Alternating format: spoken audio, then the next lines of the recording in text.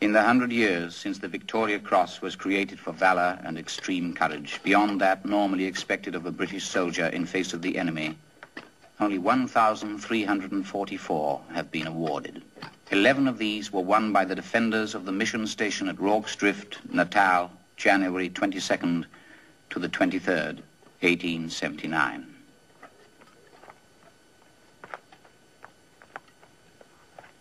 Frederick Schiess, Corporal, Natal Native Contingent. William Allen, Corporal, B Company, 2nd Battalion, 24th Foot. Fred Hitch, Private, B Company, 2nd Battalion, 24th Foot.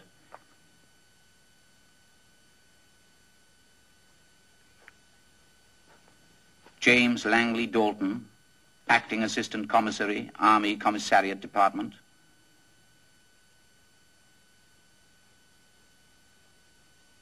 Six one two John Williams, Private, B Company, Second Battalion, Twenty Fourth Foot.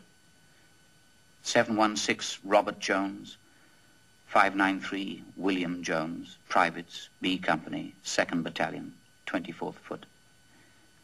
Henry Hook, Private, B Company, 2nd Battalion, 24th Foot.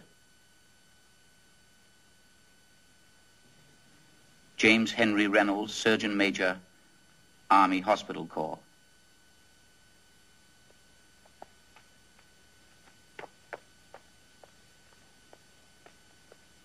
Gonville Bromhead, Lieutenant, B Company, 2nd Battalion of the 24th Regiment of Foot, South Wales Borderers.